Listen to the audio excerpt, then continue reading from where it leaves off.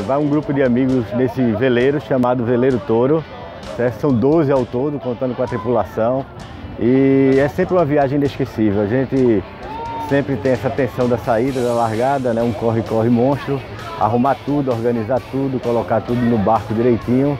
E vamos preparados aí para passar três dias no barco, que é realmente uma coisa incrível. Nós temos quatro equipamentos essenciais de segurança.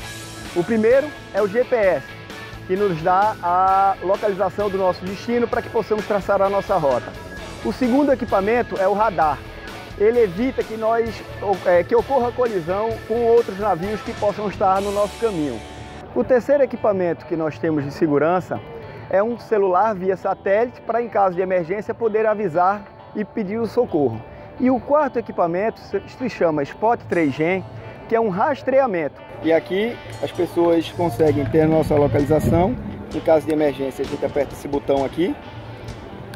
Se for um socorro que não envolva risco de morte, nós apertamos esse botão aqui e aqui sai a nossa localização, inclusive do Cabanga, informando que estamos precisando de resgate, mas que não estamos correndo risco de vida.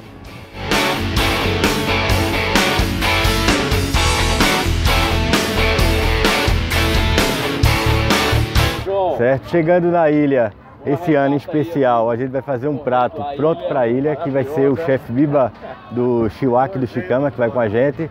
E a gente vai fazer um prato da boa lembrança, a primeira versão feita na ilha e torcer para ser com peixe que vamos pescar na ida. Qualquer coisa já levou um filezinho separado congelado.